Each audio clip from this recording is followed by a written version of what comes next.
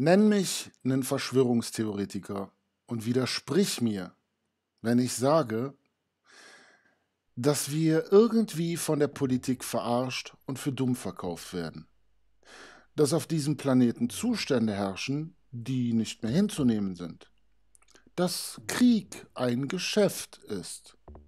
Dass Gesundheit ein Geschäft ist und die Pharmaindustrie sich an einer Zwangsimpfung dumm und dämlich verdienen würde. Dass große Konzerne größeres Interesse an wirtschaftlichem Wachstum als am Allgemeinwohl haben. Dass Politiker vor den Wahlen Versprechen machen, die sie nach den Wahlen nicht einhalten. Dass diesen Politikern ihre Macht demzufolge wichtiger ist als wir.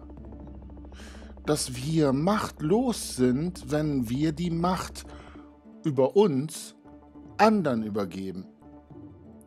Dass man den Medien nicht einfach sorglos alles glauben kann und sollte. Dass wir nicht in einem demokratisch geführten Land leben, auch wenn man uns das so verkauft. Dass Gesetze notfalls mit Waffengewalt durchgesetzt werden, auch wenn sie keinen Sinn machen. Dass Gehorsam nichts mit Souveränität und Eigenverantwortung zu tun hat. Dass wir durch Public Relations, Propaganda, Werbung dazu gebracht werden, Dinge zu wollen, die eigentlich keiner braucht. Dass für diese Propaganda, Werbung, jährlich Milliardenbeträge gezahlt werden. Dass in diesem Land so einiges himmelschreiend ungerecht abläuft dass wir abhängig sind von denen, die herrschen und von deren Geld. Dass wir ohne all das auch ganz anders leben und zusammenleben könnten. Wir werden verarscht und für dumm verkauft. Und ich bin nicht der Einzige, der das so sieht.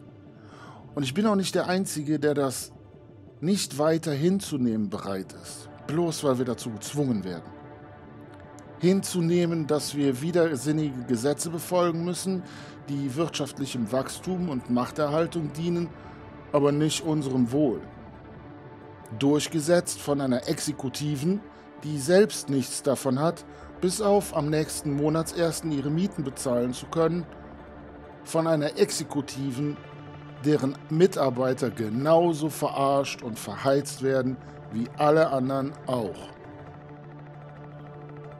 Deutschland kann der die Bundeskanzlerin durch Antrag überprüfen lassen, ob er sie noch die Zustimmung der Mehrheit der Bundestagsabgeordneten hat.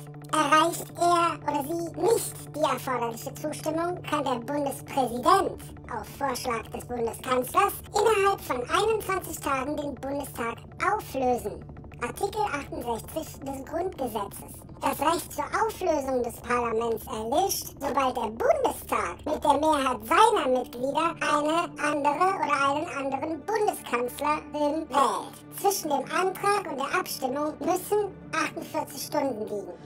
Da aber jetzt die ganze Regierung nicht mehr vertrauenswürdig ist, sollte diese Frage vom Volk ausgehen. Und zwar nicht an die Regierung gerichtet, sondern an alle Mitbürger. Und um dem Ganzen einen Anfang zu geben, stelle ich hier ganz offen eine mit Ja oder Nein zu beantwortende Frage. Vertraut ihr noch der Regierung, insofern ihr das überhaupt je getan habt? So, und jetzt machen wir mal ein bisschen lang ausstehende Basisdemokratie. Bedeutet, es geht mal nicht darum, das Land zu spalten und es in zwei Lager zu teilen. Und das bedeutet, jeder macht von seinem Recht Gebrauch, eigenverantwortlich selbst zu entscheiden, was er tut und für richtig befindet. Und gibt jedem anderen das Recht, das auch zu tun. Alle, die diese Frage mit Ja beantworten, gehorchen bitte weiter, ohne zu hinterfragen, dieser Regierung. Alle, die diese Frage mit Nein beantworten, erlauben sich, ihr Bauchgefühl wieder zu ihrer Autorität werden zu lassen und dem zu folgen. Klingt ungewohnt, hat aber durchaus seinen Sinn. Jeder von uns weiß selbst, wann er mit irgendwas Unheil oder Schaden anrichtet, egal ob das verboten ist oder nicht. Nenn mich einen Verschwörungstheoretiker und widersprich mir, wenn ich sage, dass wir alle besser leben können und würden, wenn wir einander helfen, statt obrigkeitshörig und im Namen eines nicht legitimen Gesetzes gegeneinander zu wirken. Dass ein wenig mehr Liebe und Respekt statt Gehorsam dazu verhelfen würden, schöner zu leben. Dass, wenn wir einfach nur mal darauf achten, keinen Schaden anzurichten, jeder tun könnte, was er möchte, weil es keine Kläger mehr gäbe und somit keinen Grund, irgendwas nicht zu tun, das nicht schadet. Dass mit ein wenig Vernunft und Menschenverstand statt Gehorsam wir uns selbst übertreffen würden. Dass, wenn sich jeder um seine eigenen Belange kümmert, statt ständig vor den Türen anderer zu kehren, jeder sein eigenes Leben leben könnte und würde. Dass, wenn wir mehr teilen würden, wir einander automatisch weniger wegnehmen müssten. Dass, wenn wir teilen würden, tatsächlich niemand mehr Geld bräuchte. Dass wir auf Augenhöhe wesentlich angenehmer wür leben würden als in der Hierarchiepyramide. Dass wir nichts zu verlieren haben und es einfach mal ausprobieren sollten. Dass wir eine Menschheitsfamilie sind, die sich vor langer Zeit mal durch Religionen, Nationen, Kriege hat spalten lassen. Wenn es scheiße ist, dann können wir danach noch immer noch wieder anfangen, uns gegenseitig die Schädel einzuschlagen, oder? Ich weiß. Ich bin nur der Hippie-Guru, der die Bäckerfinker besetzt hat.